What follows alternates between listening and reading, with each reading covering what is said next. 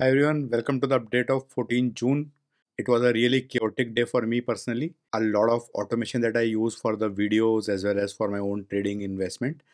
They broke. Last few weeks there have been one or two instances but today there was a major problem.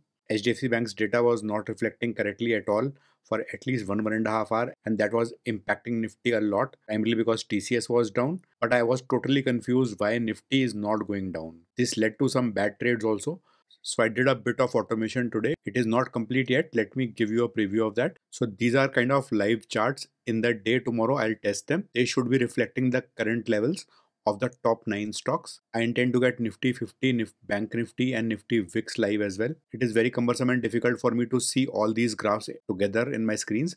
Though I use three screens, it still gets difficult. So hopefully this will be useful in seeing what is going up and down in real time. This is one more automation which is live now. That trigger is manual, but this data is what will be reflecting in the dashboards going forward. So hopefully the dashboard for India stocks will not break now. Back to market data, Nifty was in a very narrow range today. Today TCS was down. Yesterday TCS was up. Today HDFC was up. So what is happening is that the larger players are keeping the Nifty up barely in the 0.2 0.3% kind of zone. Today also it was 0.3% so this is leading to a feeling of optimism that everything is okay. But there is heavy selling in certain sectors where FIIs DIIs they want to exit. That is why the trading numbers are usually very high. So they are selling or profit booking in certain sectors. They are buying in more sectors. They have 7 8 sectors to churn. Retail typically follows the trails. So for example now people would have seen hdfc is up. It is breaking the ranges. So let's buy hdfc bank the bigger players have already bought it. Now the retail people will follow, they will buy at higher levels. When they'll be buying, institutions might actually be selling. So this has become a terrible game for retail. Since Nifty is not falling, no one is feeling the pinch as of now. This will be a problem for retail because retail does not book profits. Retail is being very stubborn. They will pay the price for this, in my opinion. On top of that, there are news that retail has become smart. All these kind of things are told to retail on news channels, media all the time so that their morale remains high. They keep on pumping in new money. Now, if you recall, two, three months back, there was a stress test. What happened after that? The small caps, mid caps, they all tanked. Retail lost a lot of money any net outcome. Most of those stocks which were impacted at that time, JM Financial, IIFL, they are back at those same levels. Today with the automation change, this trend is changed T to T plus 4. Earlier the latest was appearing here and it was reverse direction. From now on, this is the latest data. This graph I'll update soon. So today Nifty was up 0.3%, Bank Nifty was also up 0.3%. Nifty IT fell today, it was up yesterday. It is a round robin kind of game energy was up today it has been up for 6 7 days now FII's net bought 2176 crores what did they buy in my opinion reliance and hdfc bank these are the heavyweights which kept the market up despite tcs falling 1.2% SBI falling 0.6%. DIs were also net buyers today, 656 crores, small amount. Gold was up, silver was up, Brent was up, Bitcoin was up. VIX has been crashing rapidly now, another 5% down. It is now at 12.82 below 13. The 52 week low, I think, is around 8, 8.5. There are two major news today. Vodafone is going to sell its entire stake in Indus Towers, possibly to a mix of Airtel and Jio. This will bring down their stake to zero. They will be using the services and paying for it. They will no longer hold a stake in Indus Towers. This is big news. It is a lot of money. Indus Tower may fall temporarily. In the second news, Adani Group is buying stocks from open market. The stocks were beaten down. I've been saying that Adani Enterprise share has not been moving in my updates in the last one week or two weeks. Now they are buying from open market. Today market breadth was good, 28 sectors up. There was a sea of green. What contributed most was insurance, followed by aerospace and defense yet again. Machinery equipment again rocking, oil and gas again rocking, automobiles up yet again banks reverse positions up today. What was taking the Nifty down? Majorly IT. Strange that despite so much good market breadth, the Nifty was up only 0.2%, which means the volumes were shallow and percentage gains were not very high. Let's check key sectors. Aerospace and defense. HAL was up 2% at 3,50,000 crore. 2% is a lot. However, in the context of other stocks like Mazagon Dock, which was up 15%, this looks like a paltry number. BEL up 3%, Bharat Dynamics 6%, GRSE another 6%. This sector is again back to 52 weeks high. 4th of June is gone. Automobile, everything was up. Maruti down a little bit. Today, for a moment, Mahindra and Mahindra actually overtook Tata Motors to become number two company and then it fell down. Banking mix pack mostly held stable by HDFC Bank. Yesterday, there was a query on Dixon Technologies. This again is a big sector. I usually don't cover it. I'll try to cover more.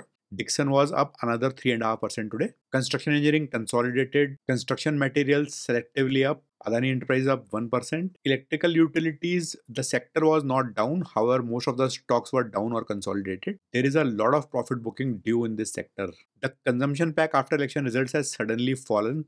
Most of these stocks were around 52 weeks high uh, just before the election. Most of them are roughly in the 60 70% zone right now. Maybe a good opportunity for people who think long term. ITC, Nestle, Britannia, Tata Consumer, Marico, Patanjali, Adani Wilmar. All of these are big names. These are the companies which build stuff that we all eat. Insurance pack was led by LIC up 6.5%. That is the largest company. If it is up 6.5%, the sector will be up 4% but all other major players were up as well. Investment banking, yesterday I talked about my investment in Tata Investment Corporation. I mentioned that it hits many upper circuits.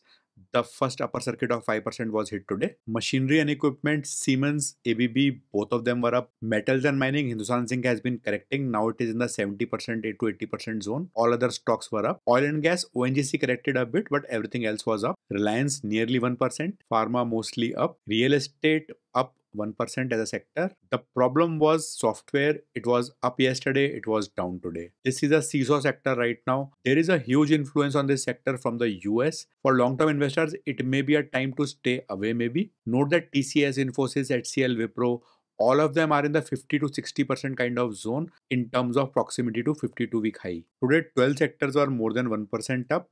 15 sectors were up between 0.1 to 1%. So overall great market breadth. Nifty 50 21 down, 29 up. Reliance kept the index up, followed by HDFC Bank, M&M, Adani Ports, Titan. What was pulling Nifty down? Primarily TCS, SBI, HCL, Wipro. About 5-6 companies had good volumes. Grasim, Shriram, Titan, Cipla, not the big boys, but most of the companies again had shallow volumes. Let me sort on market cap. All the big boys volumes were less than 50%. Next 50, 10 stocks down, 40 up, great market breadth. Volumes were good for the insurance pack, ICICI, LIC, the cement pack, ABB, Siemens, Havells. So these volumes are good. However, the remaining sector had really poor volumes. So every day these days about 60 to 70% Nifty next 50 stocks are hardly being traded in terms of volumes compared to their average volumes. One reason could be that most of these stocks are so high. 36 out of 50 stocks are in the 80 to 100% zone.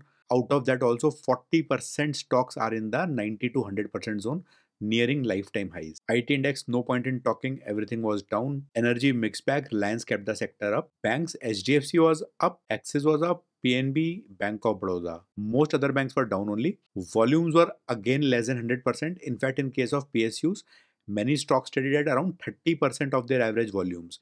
Indian Bank was at 20% of the average volumes. Hardly any interest. My trades, I bought Bharat Dynamics 40 points before the rally. I also bought Prestige Estates. In my own tracker, I was saying every day that the real estate sector is up every day. So I took a bite into it today. ABB also I bought today, probably 400 points before the rally. I sold off Karnataka Bank. It was holding my capital unnecessarily. It was not going anywhere. I'll probably revisit this around the result season. Options trade, I'll walk you through the 20th expiry. There was a mess up in the other positions. I'll talk about it on Monday. HDFC Bank's data I talked about, it created a huge mess. I need to sort it out over the weekend and rescue the positions on Monday for that. So this position is what I've been talking about last few days. It is a far off position. The max profit is 6%, 14,500 on the target date, which is next Thursday. Now next three days are off, which means I have no risk for three days of markets going up. There will be three trading days, Tuesday, Wednesday and Thursday, in which the Nifty should not cross 23,600. In any case, there is a downward protection that also I'll prevent probably if there is any very good news which will take the market up, I will immediately exit the positions. It is time to be cautious in the market, in my opinion. Everyone has thrown caution to the wind. Everyone feels that stocks only go up. This is not true. The fall could be very painful. The same phenomena I'm seeing in real estate also. everyone is buying as if the real estate only goes up. I have personally seen real estate stagnate for 5 6 years. I have sold two properties in my life at prices lower than where I bought if I adjust that to inflation and interest rates. For many people right now, the problem is there is a lot of money, lot of liquidity. Also because India has printed a lot of currency, they are scared of equity market mutual funds is one route. However, most people have very little idea what to do with the money. Real estate parks a lot of money, current and future. Most people see the maths as invest 1 crore, 2 crore right now, it will double. Most people are not wrong either because they don't know how to do better than that in any other market form. But right now, equity markets are becoming very tricky all the good news of all sorts is nearly factored in. There is nothing I can imagine right now which can take the stock market up another 5% besides excess retail money. So do evaluate your options. It may not be a bad idea to take some money out and sit on cash. You will get very less interest in the bank. That's okay. But if you saw 4th of June, stocks were down 25% in a single day. In market crashes, we can have up to two or three or four of such kind of days also stocks, large caps, very big stocks, very good stocks can fall 40 to 50% in less than a week's time. So if you have huge profits, maybe book a part of it. If you are slow on cash, maybe sit on a bit of cash. Warren Buffett also sold Apple stocks, which were doing very well for him. He has been wrong many times, but right now he's sitting at historic cash levels. It's a long weekend coming up. Enjoy life, have fun. Thanks for watching, and I'll see you on Tuesday.